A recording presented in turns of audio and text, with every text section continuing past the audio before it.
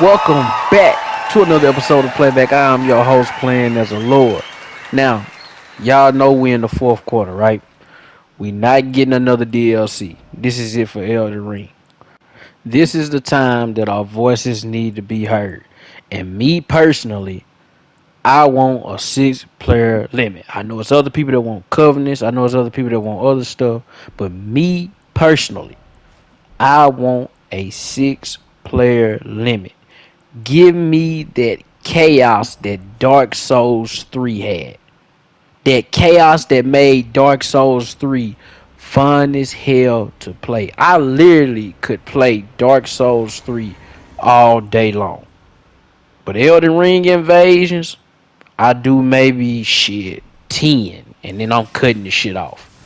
Cause most of the time you getting the 3v1s and I ain't gonna say it's rare when you get a 2v2, but it's not common. I'll put it that way. It's just not common. The 3v1s get boring as hell after a while. I'm not even gonna lie to you.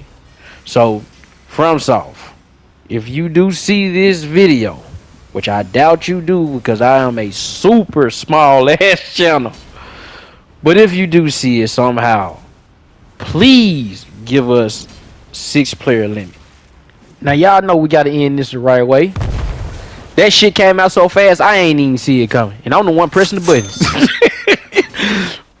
y'all thought I was done? Oh no, they gotta share this ass whooping. they gotta share this ass whooping. He gonna try to tuck tail and run.